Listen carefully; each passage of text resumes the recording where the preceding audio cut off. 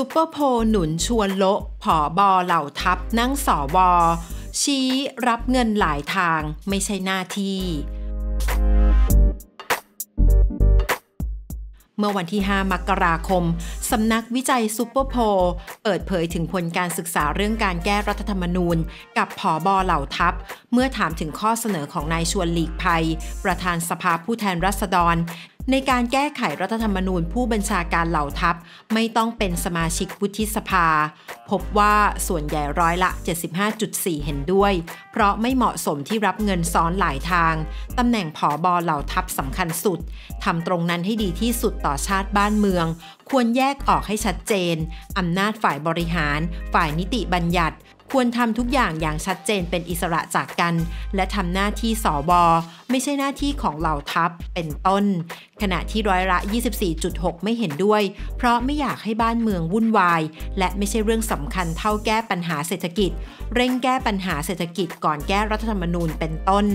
เมื่อถามถึงกลุ่มคนที่พูดแล้วทำให้รู้สึกว่าเศรษฐกิจแย่ที่สุด พบว่าจำนวนมากหรือร้อยละ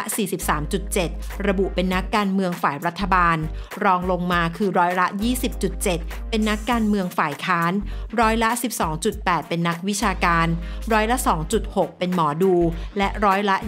20.2 ระบุอื่นๆ เช่น พูดกันเองปากต่อปาก นักธุรกิจ นักศึกษา คนทุกกลุ่มเป็นต้น และเมื่อถามถึงความรู้สึก ถ้าพักอนาคตใหม่ถูกยุบ พบว่ากลุ่มคนรู้สึกเฉยๆ ลดหวบลงจากร้อยละ 77.4 ในเดือนตุลาคม 2562 มาอยู่ที่ร้อยละ 42.8 ในช่วงต้นเดือนมกราคมนี้ แต่กระจายไปอยู่ในกลุ่มคนรู้สึกไม่ดี มีผลเสียร้อยละ 30.7 และกลุ่มคนรู้สึกดี มีผลดีร้อยละ 26.5 นอกจากนี้ยังพบด้วยว่ากลุ่มคนที่มีความหวังจะก้าวต่อไปข้างหน้า ลดลงจากร้อยละ 68.5 ในเดือนตุลาคม 2562 มาอยู่ที่ร้อยละ